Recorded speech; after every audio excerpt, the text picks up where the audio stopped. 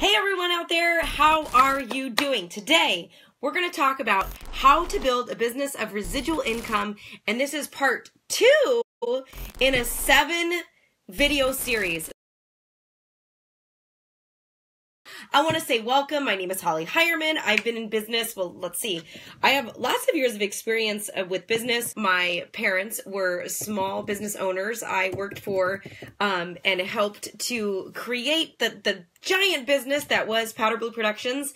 Um, formerly Powder Blue Productions, now is purchased by Beachbody. So if you've ever heard of certifications like um, Turbo Kick, PiYo, uh, P90X, Insanity, um, pretty much anything where if somebody can take one of those branded formats and teach it somewhere, then that is the company that I helped to develop and create alongside, um, or actually under Chalene Johnson and Brett Johnson. So that's kind of been my experience with business. Not only that, but also in 2008, I started my own business. Um, part time, working about 10 hours a week.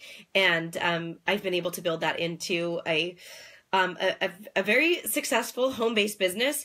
And now it is my passion to help other people find freedom, creating this anomaly called residual income. It sounds too good to be true. If you just think about actors, uh, they get paid when their movies continue to live on, right? So they do all this work to to develop this movie, and they continue to get paid. Their movies live on. That's kind of what residual income is. You do a lot of work up front, but your the work that you've done continues to pay off over time. So you can take vacations, you can take breaks, you don't always have to trade a specific amount of time for a specific dollar amount. That's what residual income is all about. And that is what I'm passionate about is helping people to create that and do it from the comfort of your own home as well as da da da uh, totally on your own freedom, your own free time. So I love this topic. So today we're talking about part two. The second thing that you need to do in order to create a business that is strong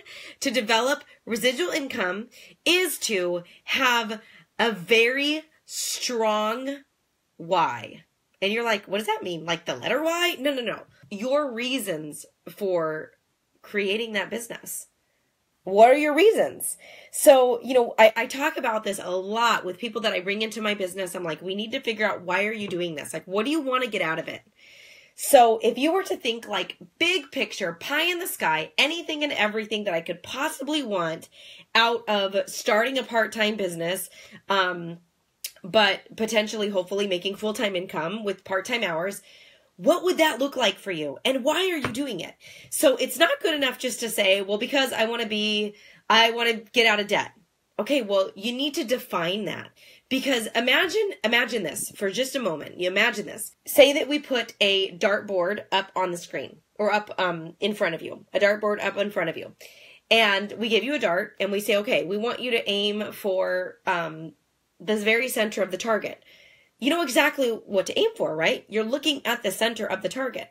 So maybe with practice, a little bit of extra, you know, time, all that stuff, eventually you'll probably hit the center of the target because you know exactly what you're aiming for.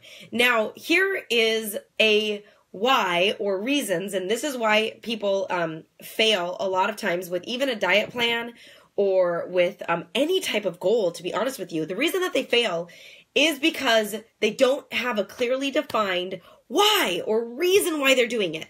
So that would be like us saying, you know, say if you say, "Oh yeah, I want to I want to start a business because I want to become financially independent." And I say, "Great." If you left it at that, this is that would be similar to basically me putting a dartboard in front of you, me putting a blindfold on you, spinning you around 47 times, handing you a handful of darts and say, "Hit the target." You don't even know where you are. You don't even know where the dartboard is. You have no idea if where you're throwing the darts will even hit anything or anyone, right? You have nothing to focus on. You have nothing to aim at. Now, here's the cool thing about the human brain. The cool thing about the human brain is that it subconsciously will lead you to the direction that you tell it to go. It subconsciously will start to lead you toward the things that you want. And that's like if you've ever heard of the movie or the book The Secret, I mean that that's a lot of it behind it is that when you bring something to your conscious mind and you're consciously thinking on those things, then eventually your subconscious mind takes over. Now, usually we say that it takes three weeks to develop a habit. If you do something diligently for 21 days in a row, that's kind of what starts the process of creating those, um, creating that undertone, that underlying current of drawing you to those things. It's like this. If you're like, oh, Holly, this is just like a bunch of baloney. That's okay. Imagine that you're in the market, you're looking for a brand new car, and you decided on a specific car all of a sudden, every time you get in your car, you see these cars everywhere on the road. Now, is it possible that everybody decided to buy that car at the exact moment that you decided to look into that car? No. The more reasonable answer is that it has become part of your conscious mind. So the things that you subconsciously, which thank God, we decide to ignore like 99.9% of our surroundings.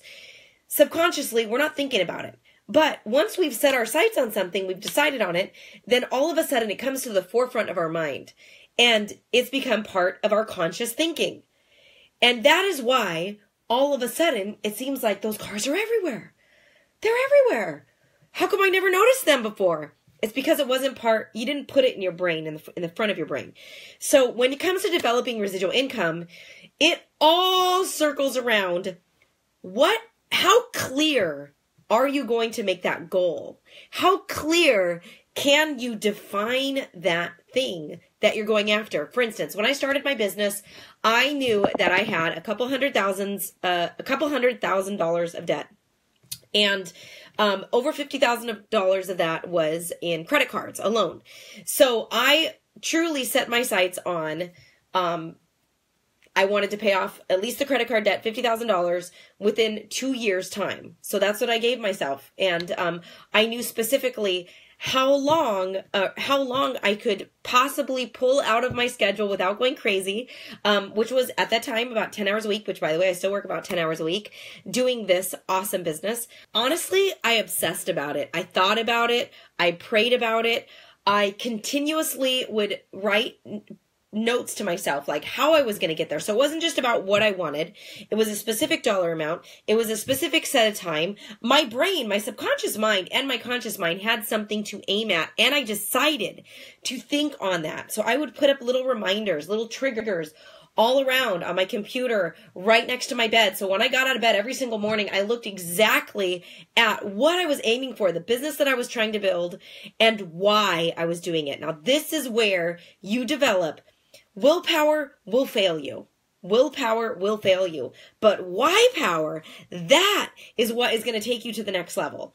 What do I mean by why power? Your why power is layering upon layer upon layer upon layer of why you are doing something. Okay. So my reasons for why I was doing it, of course, I wanted to get out of the debt, but why? because I was stressed all the time. So I wanted to eliminate stress. Okay, well, how would that make me feel? Okay, what's going to make me feel more comfortable? Okay, it's going to make the creditors stop calling me. That's going to make me feel better. I'm going to feel, of course, less stressed. I'm going to sleep better. I'm going to be able to eliminate um, some of my jobs because I had three jobs, a part, uh, two part-time jobs and a full-time job. And then when I started my business, um, I did that in the additional 10 hours a week. So I was already working 70 hours a week. Um, so those were like immediate for me, right? Okay, so obviously stress, sleep, um, I would have more time, right? So I just started layering like, okay, but why do I want those things? Well, I want those things because eventually one day, maybe I want to start a family. Great. I want those things because eventually one day I want to be able to own a home again because I had lost my home. I wanted those things because I wanted to eventually get married again.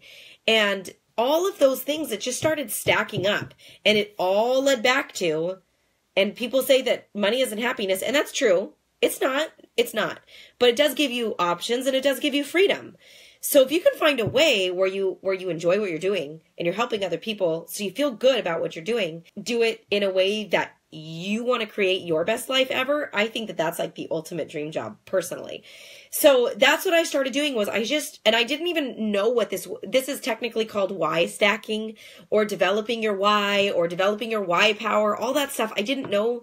I just knew that I was like desperate for a change and I wanted to make that change. So that's what I did was I started to create all these different layers of how that would benefit me internally of course, externally. Oh, okay, well, how's that going to benefit my family? We'll be able to see them more. I'll be able to spend more time with my sister and my niece, who was very young at the time.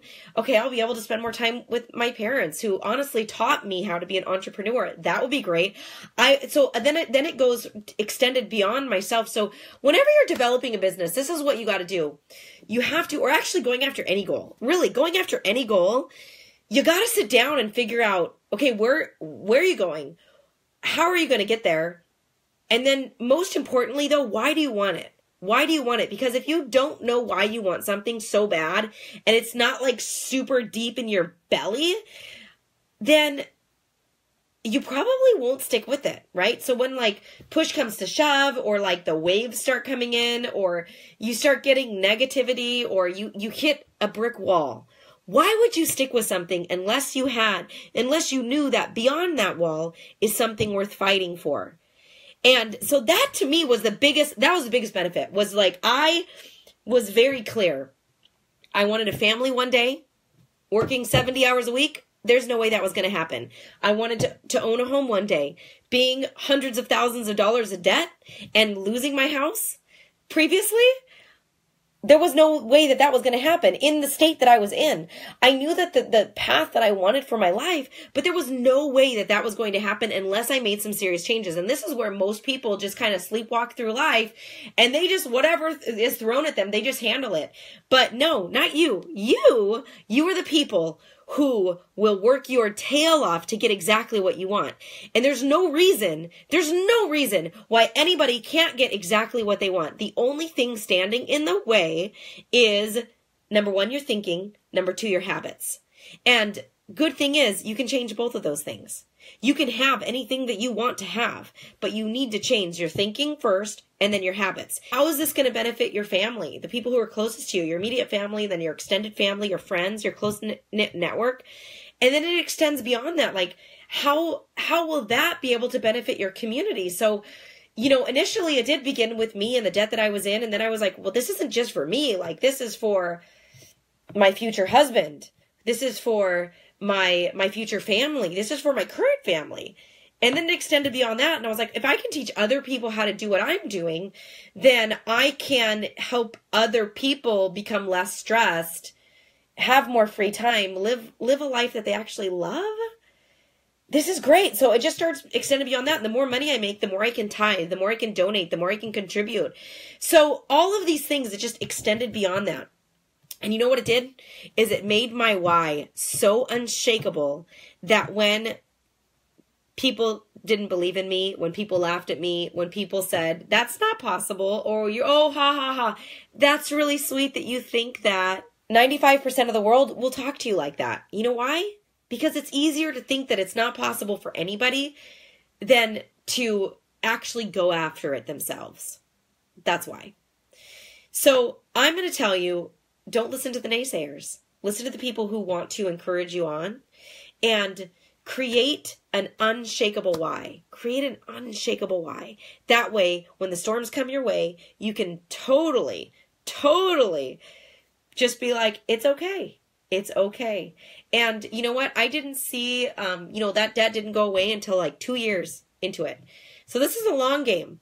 But I knew like my $50 a week, it soon turned into $300 a week. And then that soon, soon turned into a couple thousand. And it's, it's created freedom. It's created freedom.